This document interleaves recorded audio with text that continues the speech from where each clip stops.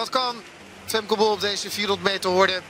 Zijn omstandigheden goed genoeg om te mogen hopen op een weergeloze tijd? Nogmaals, het uh, zal u niet ontgaan zijn. Het uh, nieuwe passenritme tot en met hoorde 7. Dus in 14 pas. Wat betekent dat je elke keer met de andere been afzet. En dan daarna overschakelen naar 15 pas. Waarom naar hoorde 7? Omdat ze dan de laatste drie hordes met haar betere been kan nemen. Nu wordt er toch ook alweer geëxperimenteerd. Wellicht komend seizoen om dan de eerste horde met het andere been te nemen. Zodat ze een horde langer 14 pas kan lopen. Goed, dat is uh, toekomstmuziek. Eerst maar eens kijken naar deze race. Is natuurlijk de absolute favoriete vanuit de baan 5. Femke Bol dus.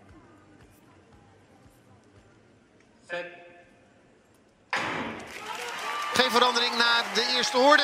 Waar ze al meteen inloopt op Jenna Woodruff. Het is uh, natuurlijk moeilijk om en die 14 pas te lopen. Maar wel met een bepaalde agressiv agressiviteit. Excuus dat het hard gaat. En dan lijkt ze behoorlijk in te slagen. De vorm is er. En het passenritme klopt voorlopig ook. Kijk eens wat een verschil met Katsuk. Iedereen lijkt wel stil te staan. De Bol heeft duidelijk plannen. Nu nog de 14 pas. Dan nog één hoorde ook in 14 pas. Dat gelijkt ze nog aardig te doen. En nu gaan schakelen. En kan ze de laatste drie hoordes met haar beste been nemen. Femke Bol, waar naartoe weg? Terwijl het voor Woodruff helemaal misgaat. Die knalt volle bak op de hoorde. En nu het moment is om ook door te blijven karren. Wat is hier mogelijk? Nog één hoorde. Eén hoorde met de links, dat lijkt uh, geen probleem te zijn. En dan houden we die klok in de gaten. Moet een beetje rijken. En wat is hier dan mogelijk? Het wordt het een lage 52 opnieuw.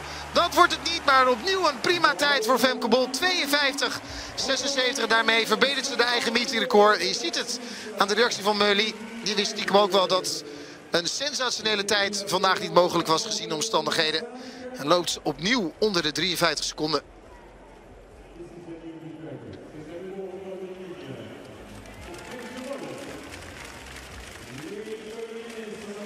Ja, als je dit kan in een koud Lausanne sneller lopen dan je ooit hebt gedaan, daar is het natuurlijk om te doen.